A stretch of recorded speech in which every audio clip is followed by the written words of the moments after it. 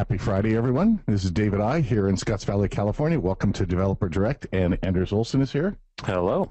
You can also take part in the uh, conversation. We have a, a Twitter feed. We ask everyone to use the hashtag EMBTDD, and you can also follow the account at EMBTD And so you can put things up on Twitter. Uh, you can also send emails to us. We get those occasionally, and they come to all of us, all the Developer Direct team, as well as several members of our support and sales organization.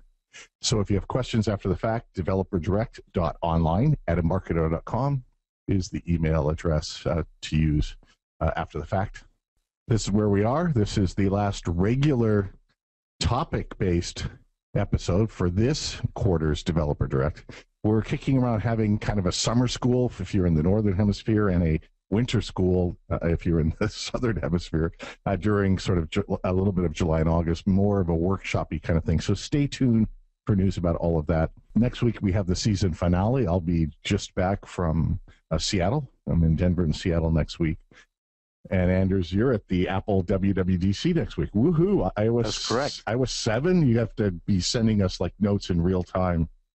Uh, yeah, of course. We're, it's rumored about OS 11, maybe? OS XI? there's all kinds of rumors yeah. about all kinds of stuff. iOS 7, maybe, and, and maybe a flatter look? A lot of the schedule will be uh, unveiled uh, at the last minute. Yeah, all it is right now is tracks, right? It's tracks for WWDC. There's lots of sessions that say uh, session to be announced. So okay. it's obvious that, you know, the keynote will trigger something, I'm sure. Anyway, if you think that WWDC is going to be cool, you should check out uh, Code Rage Mobile, and we'll talk about that in a moment. And that's the week after. That June 18th and 19th. And some people on the road were asking me, well, how are you guys going to keep up if if Google announces new stuff and Apple announces new stuff? Uh, we're on top of it. That's why uh, Anders and others are going to be at WWDC next week. Uh, that's why we all do beta testing.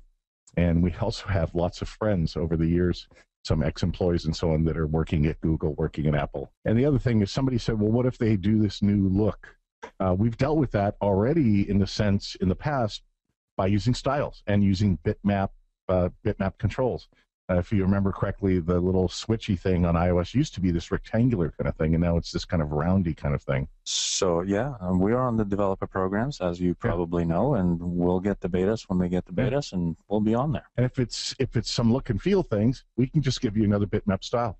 And if there's new APIs, Anders is the one of several kings of wrapping APIs and showing you how to get at APIs. In fact, he has a session at Rage Mobile uh, all about, well, what do you do if we didn't wrap something with a component and or a nice Delphi function? How do you get to it? And he's been blogging about that, and he'll have a session that helps you with all of that. So no matter what happens, we can show you how to use it, how to call it, how to style it, and then ultimately we'll keep adding components and doing updates and other things as they add new functionality, just as Google did, I think, with a payment system and some other things, although there wasn't much big Android stuff yet in Google I/O that happened a few weeks ago.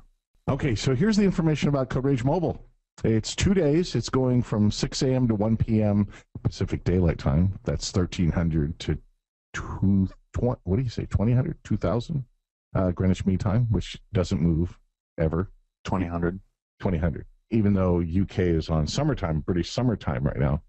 Um, 6 a.m. to 1 p.m., all live.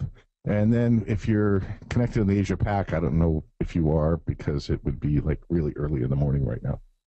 Uh, what we're going to try to do and update the schedule is to do some repeat of the sessions with live Q&A in the early evening here, which would be daytime over in Australia, New Zealand, and Singapore and all those places. So, but in any case, stay tuned. The coderage.com will redirect to www.embarcadero.com slash coderage so two days. Some of the sessions will be 30 to 45 minutes. Some of the sessions will be short sessions, like 15, 20 minutes. And we've got a mix of those. Come and register. Go to the coderage.com, register for it. You'll probably get some emails and see some blog posts as well. Uh, Fast Report is available. The latest versions, VCL and FireMonkey, are now available for XE4. And you can, if, if you uh, have XE4, just go to the registered user download area on Embarcadero Developer Network, and you'll find uh, FireMonkey VCL and FireMonkey FMX. And on the Fast Report site, they also have a comparison matrix for each product showing you what's in the Embarcadero edition versus the professional edition and so on. They have different editions, basic edition and such. So you can see what uh, what we provide is a registration and purchase incentive, what features are there, and then what else. And Andrew, yeah, we have all our webinars are available for replay on YouTube, uh, including all of these uh, these developer direct sessions. So you can find them. Just go to the Embarcadero YouTube channel. Um, there's a little YouTube icon off the embarcadero.com page but I think it's youtube.com slash Embarcadero Tech Net, something like that, T E C H N E T. We'll get you there. Uh, last week, yeah, Davis, I, I said you probably just joined uh, that I hadn't edited last week's yet. I apologize. I was traveling this week. I have no other excuse. Anders gave me the camera file, and I just didn't get it done. Uh, these are some URLs for data visualization, information, and sites that I use all the time uh, just for ideas. There's a lot of infographics there. There's data sets. This this one out of Switzerland is, in my mind, is is probably the best, but that's my opinion. Datavisualization.ch, uh, ch meaning Switzerland. I don't know why it's ch. Um, that's its two character top level domain designation. Yeah, I, sh- I should remember that. You should. I don't right now. You're from Sweden, which is close to Switzerland. It has SW to start it. Yeah, there you go. Anyway, datavisualization.ch has uh, news, examples, tools, data sets, a whole bunch of stuff. I use it all the time. And if you're into infographics and data visualization, that's a great one. There's also a visualizing community where people share their ideas, uh, share examples and, and data sets and other things, uh, visualizing.org. And as an example of one, pl- one uh, type, there was a Swedish statistician. I keep forgetting his name but he did the uh, he did a document docu- documentary on the art of statistics, and he also did a TED talk, and uh, he showed how he used in his case he used Adobe Air and and uh, Adobe Gra- Graphics to let you look at data, and he, he was trying to find. He's actually does research in things like HIV infections in Africa and so on. And he was trying to relate different statistics together, uh, visual first in spreadsheets, but then visually. The idea of maybe literacy, the literacy level, or the age in a country, or the gross domestic gross national product, uh, gross domestic product (GDP), how that might relate to uh, to health or life expectancy, and the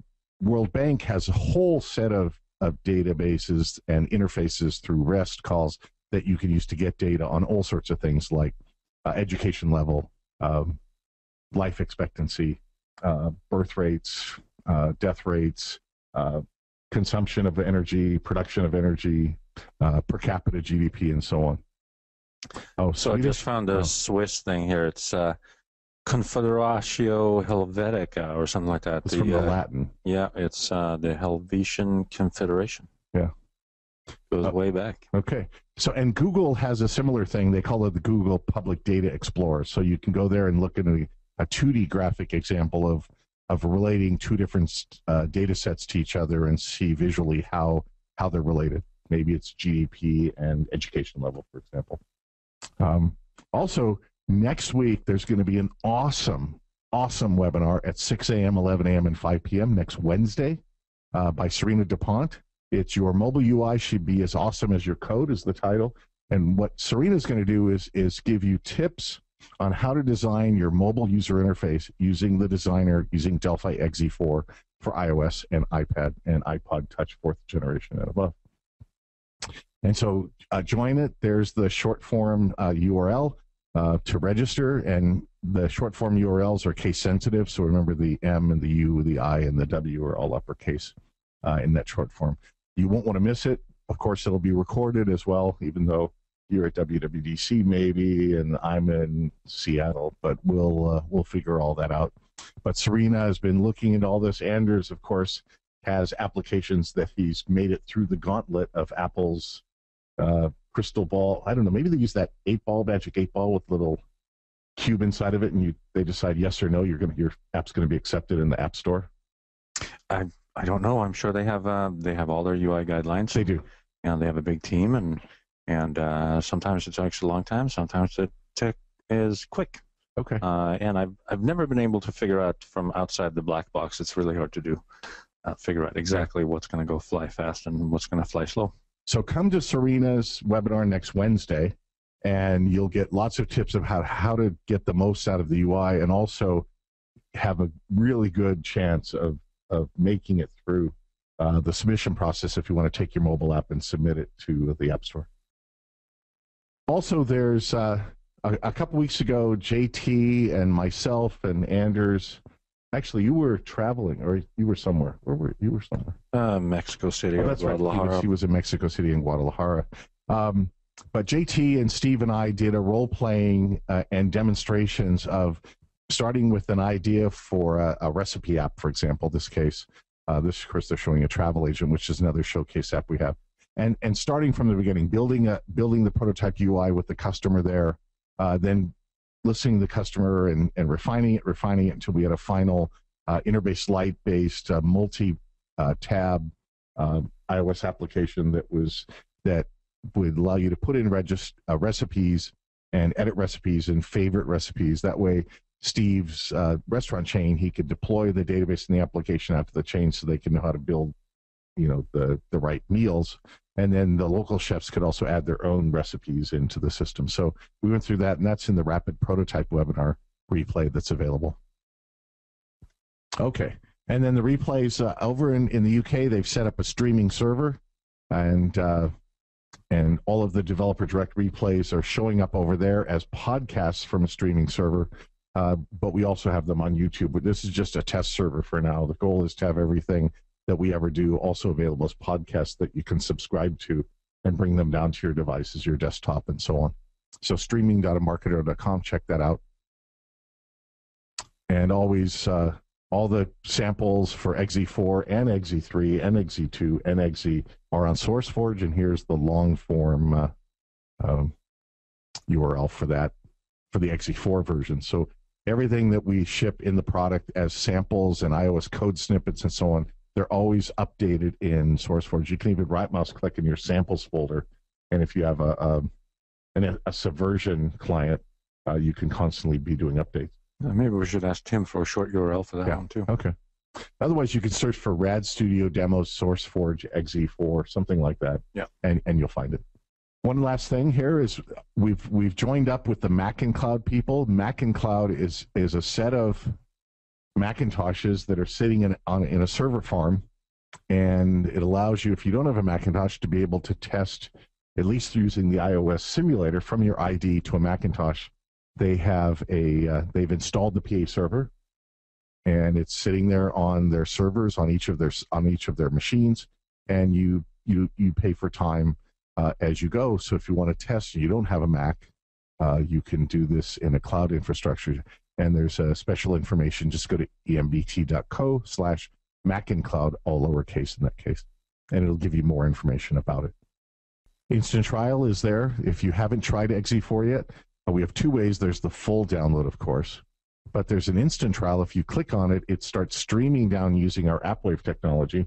It starts streaming the installed version of XE4, and within about 10 or 11 minutes, you'll see the splash screen and you can start creating your first VCL application. And within about the first 15 minutes, you can start building your first uh, iOS application. And then it sits there in the background and caches and brings back down more of the IDE, uh, either as you choose a certain option or as you want to have the whole trial ultimately on your hard drive. So it's a great way to just get started quickly. The other way is to download um, a couple gigs of the trial and then install it and then start using it. This way, you only have to wait 10 to 15 minutes before you can actually start creating a project. So check out the instant trial if you haven't done the trialing of XE4. And everything else that is happening, we have an events page off the off the homepage to keep up on live events, face-to-face events like what Al was doing this week, what I did, what I'm happening, what's happening next week. And I think Anders, you're going to Boston and somewhere else. Salt Lake. And Salt Lake City the week after next as well. All right, so data visualization, engineering, scientific graphics, today's theme and topic. Lots of things going on in data visualization. A great way, what is it? A picture is worth a thousand data points, something like that, or picture is worth a thousand words. So there's lots of different ways to do data visualization. Also, scientific visualization, looking at molecules, looking at uh, atomic structures, looking at crystals, or whatever it might be. There's there's lots of different ways to think about how you would visualize a scientific process or some kind of chemical process and so on. The great thing is FireMonkey gives you access to all the graphics you need, both 2D and 3D graphics, to be able to do all sorts of different visualizations. Especially in 3D uh, with FireMonkey, uh, it works with, op- with Direct 3D on on Windows, OpenGL on Mac, and OpenGL ES on uh, on iOS. So we hook right in, we hook into the GPU, we can push a lot of the bitmaps, we can push the pixel shader code, we can push other things into the GPU and let it do a lot of the work. And then it comes back and shows up on your screen. It offloads the CPU so your CPU can do more of the work that you need to do. And so how you do that is there's a 3D architecture set of, of classes and at the highest level abstraction level, just the context for 3D. And then whatever system you're on, whether you're on Windows with DirectX 9 or, or DirectX 10, or you're on Macintosh or iOS, uh, you get, it gives you the right lower level implementation of the APIs for those 3D 3D systems. You just work at the highest level with these 3D shapes and components. We have lots of different ones. You'll see Anders playing around with custom mesh today. Uh, you'll see me look working with an extruded shape 3D, uh, T-Path 3D uh, in a demo. You have 3D controls, grids. Anders puts a grid on along with his custom mesh, uh, so you can see sort of axes in, in X, Y, and Z. So lots of controls, and ultimately it, it's a component uh, in the hierarchy. So lots of things that are available in FireMonkey 3D and also in 2D. So a circle versus a sphere. Uh, a rectangle instead of a 3D rectangle, and so on. And then there's some other objects that allow you to not only manipulate the objects, for example, a generic container uh, called T-Dummy, um, so that you can rotate all the objects inside of this container uh, as you're moving the camera around. So we have camera support, light support, uh, material support, so you can put material either a bitmap or a picture or whatever the material file might be on top of the 3D surface. All of that is supported in FireMonkey uh, and gives you a lot of capability. You'll see that in the demos today as well. All right, and in fact, we're at the demos. So here I'm in the XE4 IDE, and I want to bring. I'm going to bring a couple different demos. Uh, Pawel Glowacki uh, created this molecules demo, and what the molecules demo does is it takes a a, a database. There's different. There's the standard database for for documenting molecules, strong bonds, weak bonds, atoms, and so on as part of molecules. And so he has built this 3D application, and he's using the transparent style on Windows, which gives you this nice see-through kind of arc dialers and uh, and a button and checkboxes and so on. He's got a a dummy, and the dummy is just there so he can create things inside of it. And then he's got animations to move around. He's got another dummy that has a camera associated with it and a light associated with it. So here's the light. Uh, and so you could shine a spotlight on it to light the object, or you could set the uh, the material source information so that the objects can emit their own light, or they have to be lighted by a light. And again, you can have a camera as a non-visual component, so that instead of moving all the objects around in 3D space, I mean, you can do that as well. You can move their position X, Y, and Z, but you can also move the camera. As the camera points to, for example, a container, as you move around, and you'll see this in Anders' demo ultimately in the in the math visualization component or application. Uh, he'll move the camera around, and instead of having to rotate the whole the whole set of, of 3D objects. He's got a style book here, and the style book he's got loaded to bring up this beautiful style and uh, an open dialogue to load up the the uh, the these molecular files, one per file, and he's got just uh, an action list so that he can create actions that are associated with the operations. If we look at the source code, there's you know not much here other than he creates the atomic material. Um, he sets the caption for what the name of the molecule is. Uh, if you if you move the mouse around, you can rotate. Uh, he's got a viewport 3D. Viewport 3D inside of a two inside of an HD application allows you to put 3D objects into a viewport, put that viewport onto a, a 2D or, or HD surface of FireMonkey application. Uh, the reason we, we do that sometimes is you might have some 2D operations. I think, Anders, you probably have a viewport as well. So you can have these kind of control panels. Sometimes you put a panel on top of a 2D area and then you put a viewport and do all the 3D operations in the viewport. Uh, yeah, mine are both 3D forms. So totally 3D. So forms. I'm putting uh, my control panels on on layouts and on a, la- a layer 3D. Yeah, I think so. Yeah. Yeah. So you can do it either way. You can have a 2D application that has 3D in it, or you can have a 3D application that has a layer uh, or other surfaces, and you can put 2D components on those layers. Yeah. It really depends if your application is mainly 3D or just a little bit of 3D. Yep. So in his case, he's got a uh, a uh, a viewport 3D that's occupying this part. The upper looks like about three quarters or seven eighths of the of the surface of the form, and then down here in the bottom, he's got the rest of that being 2D. And so let's let's look at this in action first. Let's run it on Win32. I, that's what he's got this one set up for. So here's uh, the surface. We'll load up a PDB file. I usually start with caffeine because that's what I'm drinking right now, caffeine. Uh, but maybe other people like cold caffeine with bubbles or Diet Coke or Coca Cola or something like that. So what we've got here is we've got a track bar, and the track bar, we're simply going to move the, the camera around. So it looks like the object actually is going off in the distance. We're moving the camera away from the set of 3D objects by moving the track bar around. And then we can use these arc dialers to rotate around the X, Y, and Z axis. So here's the X axis, Here's the y-axis. And here's the z-axis. And then he's got two check boxes turning off. There's just the bonds, for example, and then show the atoms, uh, turning off the bonds and just show the atoms floating in space. It looks like he's got an auto rotate option, which is pretty cool.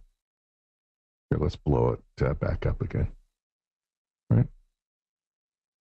Okay, so now let's go back again to uh, to a couple of these components. Let's go to the uh, track bar scale changer.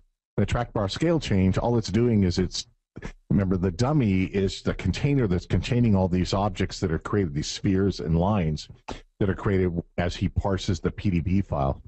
And we just go and we we scale the X, Y, and Z for the dummy.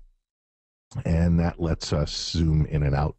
Uh, I guess he could have used a camera. Looks like he's not using the scale factors in, uh, in this case. Uh, also for rotation, we look at the arc dialers, for example. Arc dial X change, he's just changing the rotation angle of the dummy, which contains all the objects that are created from the database file. And he's just taking the value, the arc dialer, the X value, the Y value, the Z value, or sorry, the value of each of the arc dialers and setting the X, Y, and Z rotation angle of the dummy. And then let me go over here to the open dialog box and uh, he's got a filter just looking for PDB files. How is he? Oh, it's on the load. Okay, sorry. Button click.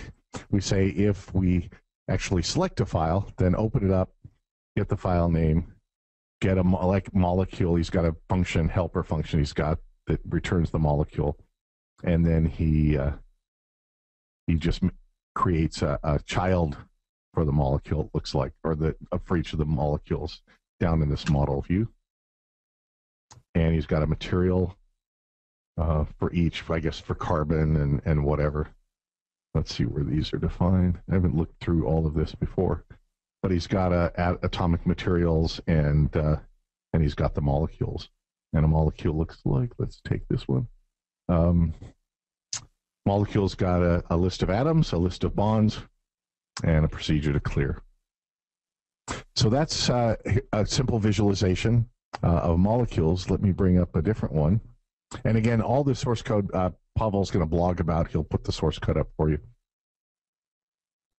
Uh, some time ago, I did a, an example.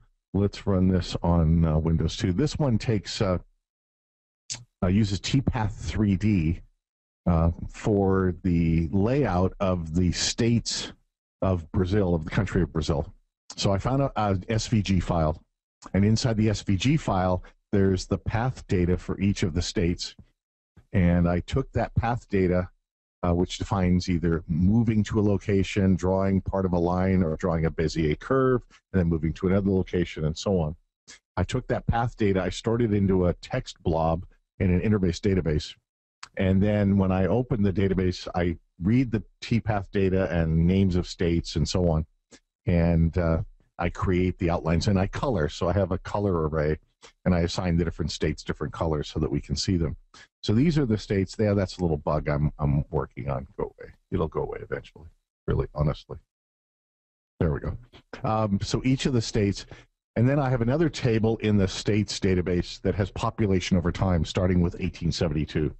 They did census just like some countries do on an irregular basis early on, and then on a, a bigger basis later on. So as I move this track bar down 1890, you'll start seeing the uh, the states extruding out. And what I'm doing here is setting the depth of the TPath 3D object uh, on a scale factor of the population. And you'll see that that the one that's coming out the furthest is the most populous state. It's the Sao Paulo, the state of Sao Paulo, where all the finance, a lot of the big business takes place.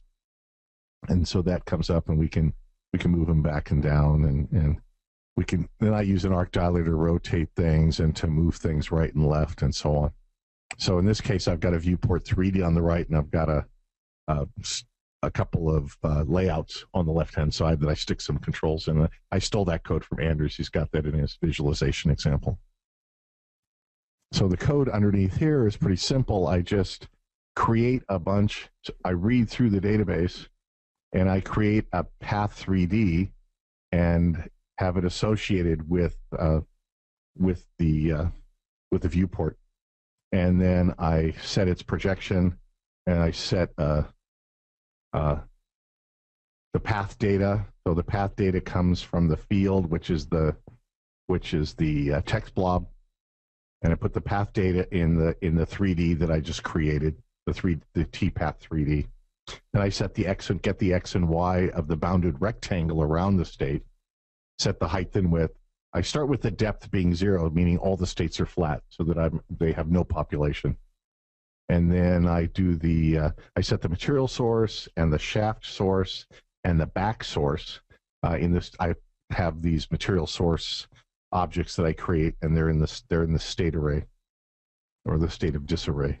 And then eventually at the end, I set the index for population to the first entry in the array and I say set state population depth.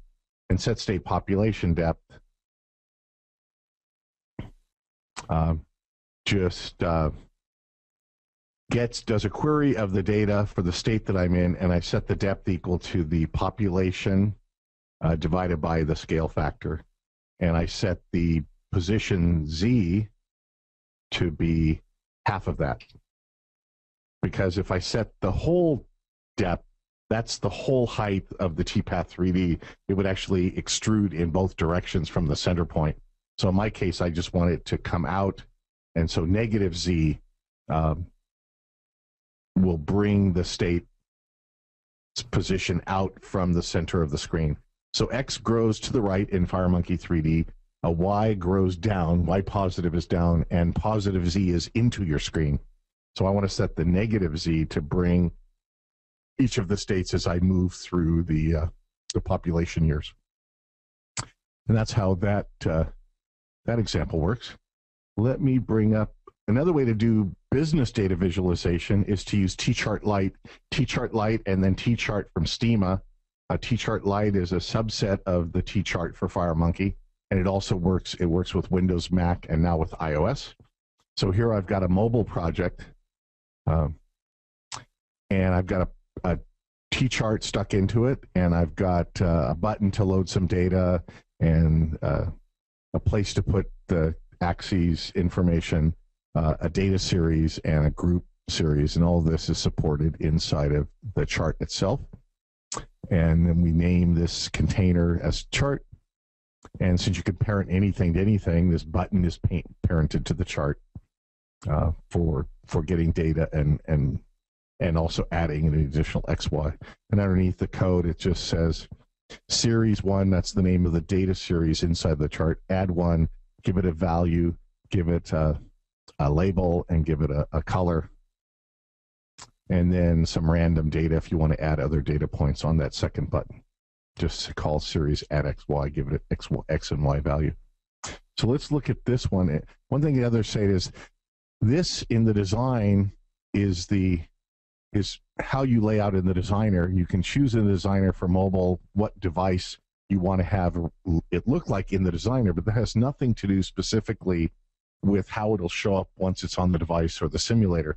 Um, it's just so you can have a frame of reference uh, as you're as you're building and designing the layout of your application. If I go to project options and I go to application, here's where I have all my icons for the device desktop, retina, non-retina, for the launch image, you know, a splash screen, spotlight search. If you're on an iOS and you search for applications, you'll get little icons showing up. You have bitmaps for iPad. Here's where you can set orientation. You can also do it in code. You can fix the orientation. In this case, we wanted to have this application only work in landscape mode where home is at the left-hand side. And so cu custom orientation is chosen here. The other thing you can, and we could have had it be a floating orientation or a standard, whatever the default orientation, which is portrait on a, on a phone device. The other thing on the target options is that you can choose how to start the simulator Do you want to start it as an iPhone 5, an iPhone 4 or earlier, or an iPad? So I have it so the simulator starts it with iPhone, and you'll see in a moment how we can change that once we're in the simulator. Of course, when you have a device, it's a device. So I didn't want that to uh, flip in, in different directions because of the data. So here's our here's our data, and up here in the simulator, you can always choose the device as well on your hardware device. You can choose which version uh, of the simulator you want it to use. We support iOS 5.1 and greater, but in my case, I installed uh, the simulator for 5.0 as well. Rotate left, rotate right, simulate a shake gesture. Under debug, you can also uh, simulate location based, so you can test your location apples. I've got my location set to Apple. But here we can use TeeChart to visualize business data in many different charting ways. And there's a gallery of charts that are built in, and then you can go to Steema software, and they have uh, hundreds of other charts in their professional and their other editions. So if you if you want to do business charting to visualize applications, you can do that. Uh, let's see what they have here. Uh, edit chart. Uh, the charts they have are. Let's see where I can choose the charts. Uh, I used to be able to do this. Why can't I find it now? Chart. Oh, it says upgrade standard pro for 100% source code. Okay, I can't find where the other chart types are. Hmm. All right, anyway. There are several that are built in 2D and 3D charts uh, in addition. And TeeChart Lite is also, as I, if I didn't say it, is also available for Windows and Mac, FireMonkey, and also uh, TeeChart, I think, for VCL as well, uh, built in TeeChart Lite, and then go to Steema software to get uh, get more um, source code and so on. All right, one last, I think. Oh, this is one last visualization. I, I put this in the sort of the heading of glanceable user interface. And what this one does is I have a database of market indexes around the world. The Nikkei 225, the Dow Jones Industrial uh, Index, uh, lots of different indexes, and I have those in a database. And then I build a, a, a, a list a, a list box up of items, and and have a glanceable ellipse that shows up. So in the source code, I'm simply uh, going through the database of my stock index uh, database, and I get the name and the URL of the stock uh, indicator, and then I create a list box item for each entry in the stock database and I create its height and width and set its padding of its margins and so on. Then I create an ellipse, and the ellipse is an indicator I use for is the stock market index up, down, or unchanged. And so I create an ellipse, I parent it to this box item, and then I set some other properties like its alignment and its color and so on. Uh, the label for the market indicator, I just create a label and I make its parent the list box item that I just created. And also I have a little change indicator, a plus and minus sign. Uh, that is another label that I create, add to the list box item. And then for that new list box item I created, I call begin update, and then I call add object to put the three objects into the list box, and then end update. That way they all just appear at once. And then I also take that list box item that I created that has these parented controls into it, and I call add add object inside of a begin and end update. And then I go to the next query, the next query, the next query. And then finally I have a timer as you open up that goes and gets the stock index uh, information and updates the status based on what's happening. So let's just take a look at this on the simulator. In this case, I've got iPad, I think, chosen as the simulator target versus iPhone. I wanted a bigger, glanceable interface. And so here comes the splash screen. Here's the simulator. Where's my. Oh, oh sorry. Okay, here we go.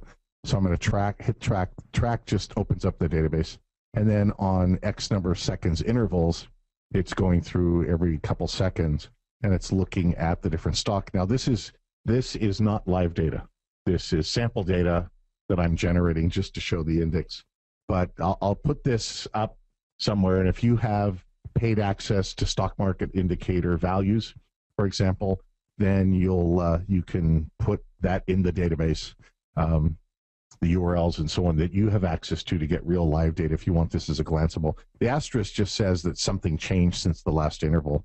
So we can go up here, and this is a number box, so I can actually select it and drag and drag along uh, with the mouse, or I can change it to some other interval. Oh, that's going to take a long time. That's a five. Well, okay, so maybe it'll slow it down. And so, in any case, it's just sitting there looking for something that's changed in the stock market index. So it's a, just a little example of a of a glanceable interface. Visualizing mathematical functions by generating custom meshes using FireMonkey. Uh, this is an article I wrote for uh, with Delphi XE2 and also actually C++ Builder XE2 uh, and FireMonkey. We're just going to go through it here. I've ported it to XE4 um, real quick uh, just to give it a refresh. So essentially, you can put in your own uh, mathematical function of two variables and it will plot a uh, volume for you. So the article here goes through, uh, you can see the article number here. I can highlight the whole thing, there we go, article 42007. So I talk about how to generate the mesh and how we're looping from uh, over uh, X and Z uh, to generate the Y values. Uh, so obviously here each square becomes two triangles, and triangles is what a mesh is made up of. So this goes into discussing a little bit of the code, how we compute these four values, and then we make up the uh, triangles. The first triangle is P1, P2, P3. Uh, the second one is P3, P0, P1. So those are the three points for each triangle. And this is the code for it. And then we generate the texture. This talks a little bit about how to generate the texture. This is uh, XE2 code. Uh, so we'll see in the source code for the new one how this is uh, generated in XE4 now. Uh, the other stuff is pretty much the same. Uh, we set the vertex buffer and create the triangles and all that kind of stuff. And here are the functions and uh, all of the code and the demo application's got some screenshots here of all the different uh, surfaces that I have in this particular demo. So if we go to the IDE and we load up my MathViz project here, if we click on the uh, button here and go to generate mesh, here's the new code for manipulating um, bitmap. So now what you have to, since a bitmap is stored by default on the GPU, in order to get read-write access to it, we have to map the actual bitmap uh, to a tbitmap data instance. So that's my BMP data here. Then, instead of uh, doing that other code, we simply call set pixel instead of setting uh, pixel colon equals or something like that, or pixel array. There's a function call, and we pass in the same exact value. So this line just changes slightly. Instead of being uh, an indexing to an array that we assign something to, we pass in x and y and the actual value. And finally, we unmap it, which means we put it back on the GPU and we're uh, ready to use it. So if we run this on Win32 here, go full screen. Here we just generated uh, something like 50,000 points uh, on this mathematical function. Uh, just like David had there, uh, the spinning code, you can spin this guy around, around all three axes uh, like this. You can zoom in and out like so. You can reset it to what we had originally. We can go with other functions. If you want to see what the function looks like, we can hit custom function, and this is what it does here.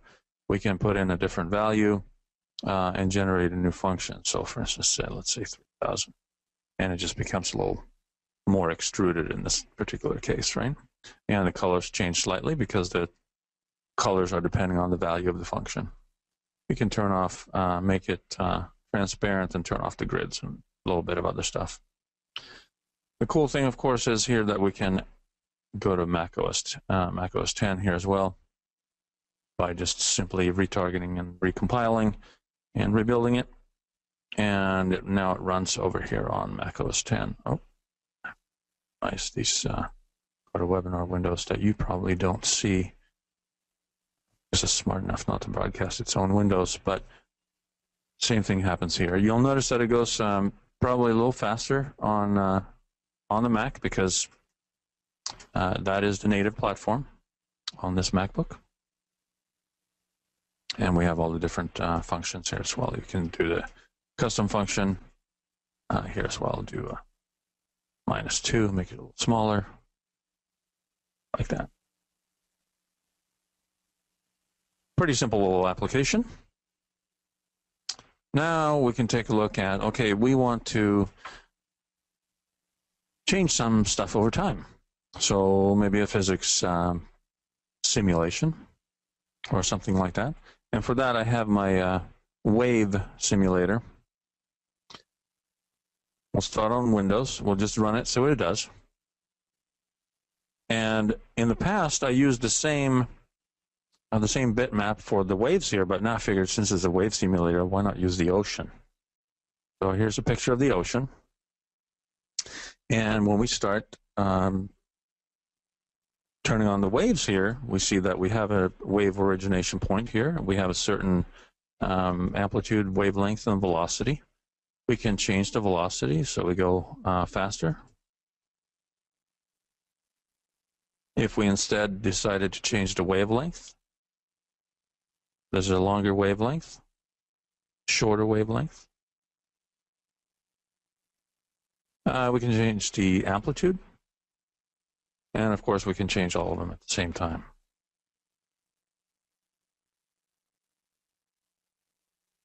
It becomes more fun uh, when we enable other points here as well, because now we get uh, waves uh, superimposed on each other.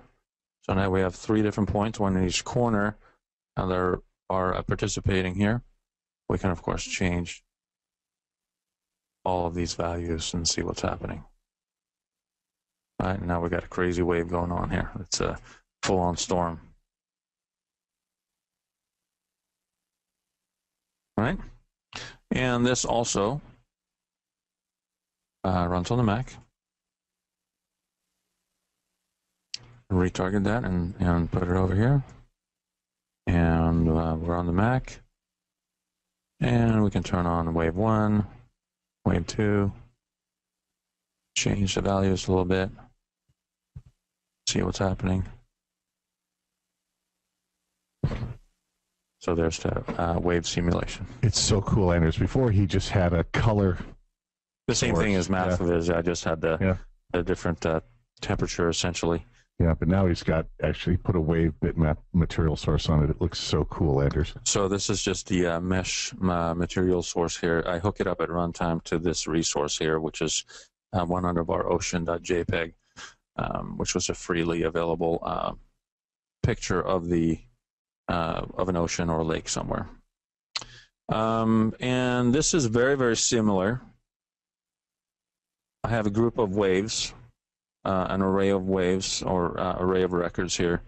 Um, this is the uh, record. A T-wave is either enabled or disabled. It's got an amplitude, it's got a wavelength, it's got a position X, Y, uh, and it's got a velocity. And then I set up four different uh, waves uh, from the beginning. And then, of course, generating the wave is a matter of computing the wave function and adding it into the results. So we superimpose correctly. Uh, t as in time is a function of this variable, or is a variable of this function rather. And then we have the pretty much the, exactly the same code uh, to generate uh, the mesh. And every iteration we force a repaint so that actually updates. And then the uh, uh, zooming in and zooming out and turning around and twisting and uh, that kind of stuff works exactly the same. So those are the two uh, data visualization things uh, that I wanted to show today. Excellent, Anderson. Oh, this is really cool. And I know you've had uh, previous versions off your, you linked off your blog and they were either in Code Central or somewhere, right? The source code? Uh, yeah, I believe so. Um, okay. If not, I'll double check and I'll make sure they're put updated. it up there for sure. Yeah. Um, and why not uh, uh, show this as well? This is the uh, XE2 application as it is in the, uh, in the app, store. app store. So um, slightly different UI, but roughly the same. You can spin around here. I cl- I'm clicking on the, uh, can't tell, but I'm clicking on the same um, buttons up here. Yeah, he's using uh, to spin a things around. program we built, we we bought called Reflector. It used to be Reflection, and it uses Air, Apple AirPlay to be able to I also have gestures here, so I can spin around. I'm touching Yeah. the screen here and spinning it. Yeah, it lets you uh, see what's on your device on the on the desktop of your Macintosh. The only thing I always keep making the mistake of, Anders, is I keep clicking on the Mac screen. Oh yeah, yeah, that's de- happened to me instead a of- times. Instead Sure. of the device, and Yeah. nothing happens. And Be cool if it worked the other way around too. Yeah. Otherwise. I think it was available for. We paid fifteen dollars for Reflector, and I think Al said he paid twelve ninety nine or something. It's There very cool if you want to be able to see the device uh, on your Mac desktop, and we use it for projecting. Of course, much easier than sticking a camera on the pointing at the device. Sure.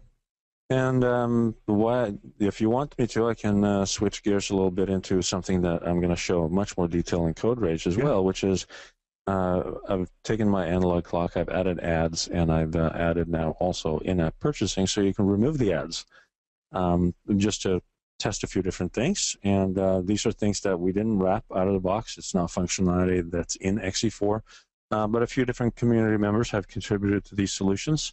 So I can take just a, a short look at um, what these look like. So what I was going to try doing here is um, I launched my analog clock on the screen, and when you when actually the in-app purchasing version is uh, approved, it's uh, they're appro- they're trying to uh, review it right now.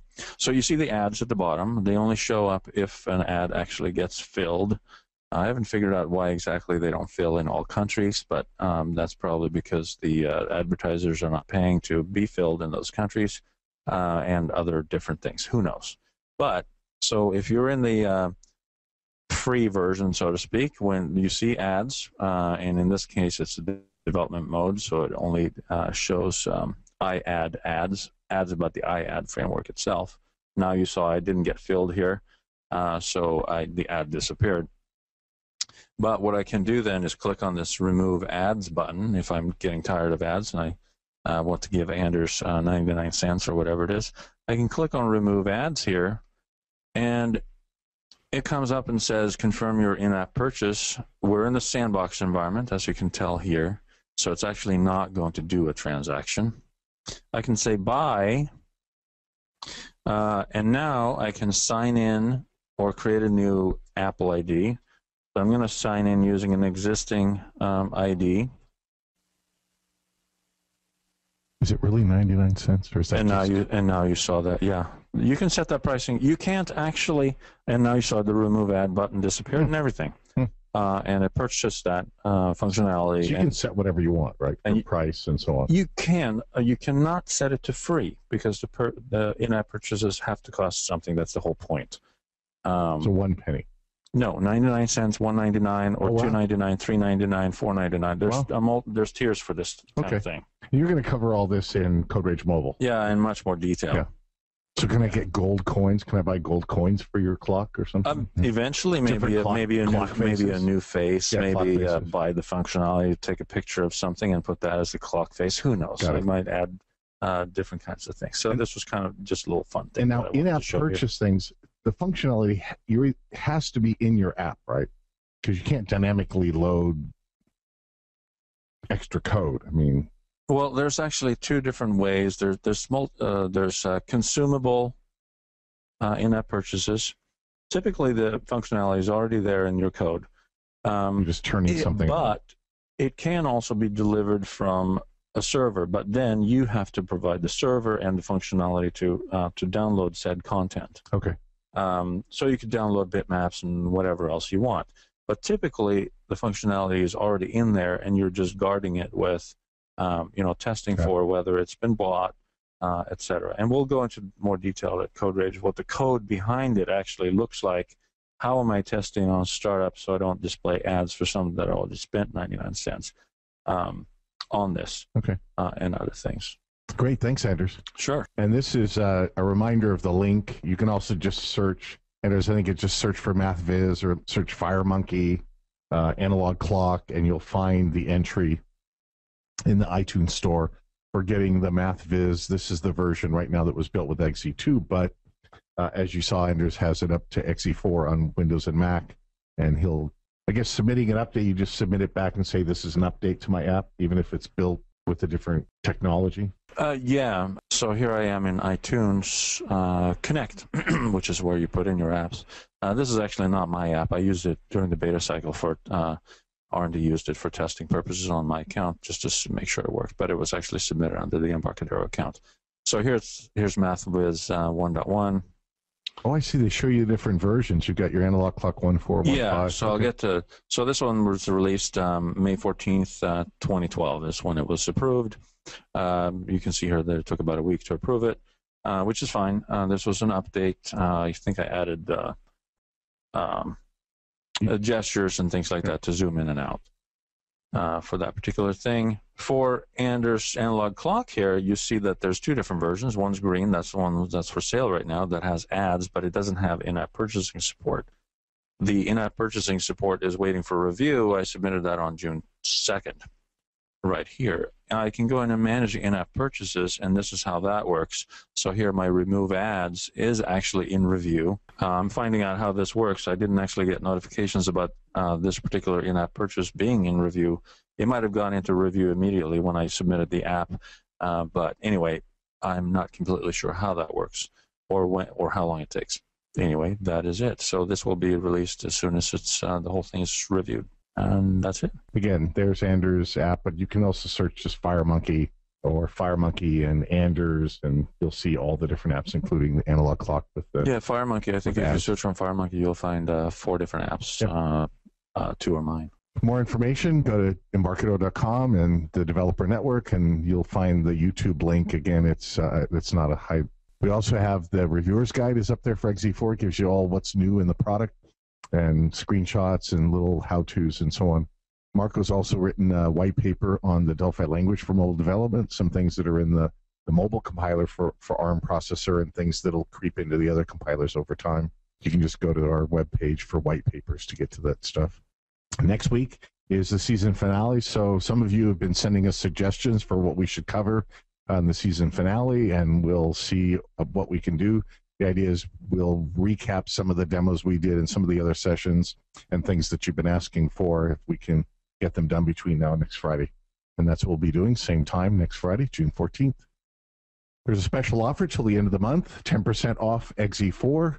Uh, stay tuned for uh, for some great promos. So if you have XE4, some additional things will show up. Like uh, I already mentioned, the fast report for VCL and for for FireMonkey. That's in the registered user download area right now. And there's some other things that'll show up next week in the registered user download page for everybody who purchases. So uh, stay tuned for uh, news about all of that showing up on blogs and, and EDN and so on. Or you just periodically go to the registered user download page and you'll see you'll see what pops up. as the most recent entries that we've added. We're always uh, hooking up with different technology partners of ours on special offers and also uh, additional, you know, Embarcadero editions of component sets and so on. So always check uh, for new things. Uh, help update one, we didn't have that in the slide. Is is there available? Is available in the registered user download page for XE4, an updated help file. Of course, the Doc Wiki always has the latest stuff. Our doc teams are putting things into Doc Wiki all the time, and then they, on a monthly or so basis, pull everything out into a Windows help file so that you can update your ID's uh, integrated help in addition to using the web. Somebody asked here about uh, demonstration of doing ad hoc distribution. Uh, it's uh, pretty much exactly the same as, um, I guess, a combination of uh, um, deploying to the store and setting up uh, push notifications. Essentially, you have to uh, create a provisioning profile where you enable all the devices that you're going to test on, and you have to add all the devices up to 100. Um, and then um, you just distribute the application with the uh, with the provisioning profile inside your inside your your world inside. Well, it could be right? public. I mean, it could be public beta testing, but up to 100 devices, and you have right. to get, convince the beta testers that you need their device ID, yeah. uh, so you can add it to the portal. Uh, but it's not really that different from from um, uh, deploying to the store. Yeah, there's utilities. There's there's uh, iPhone apps that you can. There's several. I don't know how many, 20 or so in the iTunes store to get the you uh, the device ID and to email, and then most of them email it, bring up an email page with the device ID, and then you mail it to the person who you who is building software that you want to test for, for example. Oh, okay, sure. Yeah, yeah like can... UDID. There's a whole bunch of them, 20 or 30 of them I found in the iTunes store, and, and getting that. That just displays the device ID, sure. It just gives you the device ID and lets you mail it or yeah. copy it to a notepad and give it to somebody. Yeah, you can um, also find it. You can see it in uh, in the settings. You can find it in uh, uh, Xcode. In Xcode if yeah. you plug it in, etc. But yeah, the, an app that displays it is pretty yep. cool. And we have an enterprise account, I think, that we use internally, right, for a bunch of the developers here, so they can do testing. Yeah, we do in-house uh, in-house distribution, yeah. so everybody can play with the yeah. you know performance enhancements. So maybe like we that. can create a video sometime using our own internal account. I don't know. Um, yeah, sure. Yeah, but again, it's just like the only. It's just like submitting for the store, except that you're not submitting it to the store. Right, you're submitting yeah. it to your in-house your store, in-house if you store. will, or yeah, web page, whatever, whatever you have inside. Um, so, Alistair, you have a big long comment about uh, you're doing PHP. You want to look at native code and some things with MIDI. Uh, what I'm going to do is, Alistair, I'm going to have you send me an email. My, our email addresses are up on the screen. I'm just David I at marketer.com. If you want to copy Anders and Al, uh, we'll, I'll, I'll pull this out of the log as well so that it gets big long comment about what you're trying to do and let's see if we can uh, work together and point you in the right direction. In general what you're talking about doing is there's there's things you can do. I'm not sure specifically about getting from for example an ipad to a to a 16 port midi box but there's probably some connector that connect in the phone or the pad or maybe something over wi-fi or some rest call or something that you can do to get to the from one place to another. Or if you want to do midi right inside we have to look at uh, you know how what goes on with sound files and and MIDI. I just haven't looked at anything to do with MIDI uh, on the devices themselves. So up here, there's uh, on the homepage, there's an icon YouTube, which goes to yeah, Embarcadero TechNet is the URL YouTube.com. Introducing Delphi and RATS. Whoa! It, it, it auto it always it always auto starts whatever the current video is. Yeah, Sarina took part in this uh, in this uh, Delphi. Uh, yeah. I mean, developer direct. I wish always said Delphi Direct. I don't know why. And then you can click on videos and you can uh, go down and look. Here's Developer Direct Episode 6. That's probably the, the EMEA version versus the US, Canada. I'm not sure uh, some of the different ones, but they're up there. There's also uh, playlists. Uh, let's see. If you go under Upload Playlist, then it'll give you all the playlists. So here's Embarcadero Direct 2013. There's playlists for for Code Rage 7 and for XE3, XE4. I did 31 videos for C++. Here's Code Rage 7, C++. So just look on Embarcadero TechNet on YouTube. Uh, that's youtube.com slash user slash Embarcadero TechNet, uh, I guess. Or that's the one that will auto start. So you can go there or put slash U, USER slash and then Embarcadero TechNet on the end, and that'll get you there.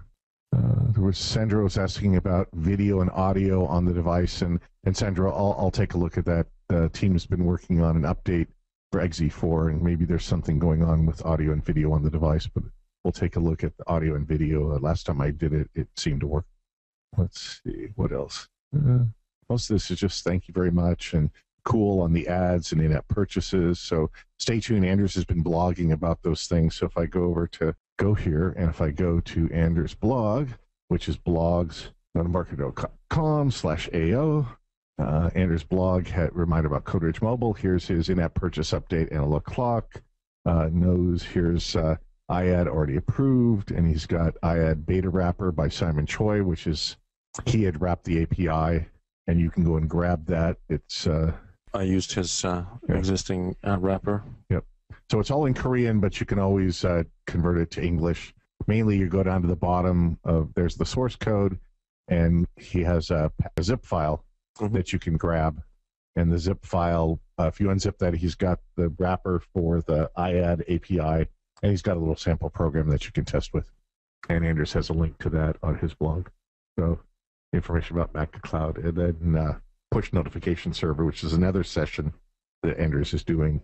And then here's the CodeRage mobile world, thecoderage.com, which redirects to CodeRage. Here's the the page, embarcadero.com slash CodeRage, and you just click on the register now. You can look at the sessions, and here's the two days of sessions on Tuesday and Wednesday. Lots of mobile sessions and some more sessions to come this isn't the final word. So join us on the 18th and 19th, or we'll I'll try to get the replays up as soon as possible. Uh, again, the offer is good till the end of the month. Uh, here's our blog stuff, and uh, let's see. XE3 came with slash N or N Software's IP Works. N Software is is in the registered user download page, Steven. So if you have XE4 or you're moving to XE4, just go to the registered user download page, and you'll see N Software CodeSite, Embarcadero Edition. There's some other things. Also, when you install, there's a page that comes up that points you to additional downloads. But all of those things are, are still uh, special promo pieces that are that are add-ons. Um, AQTime, Embarcadero Edition for profiling, and so on. Yep.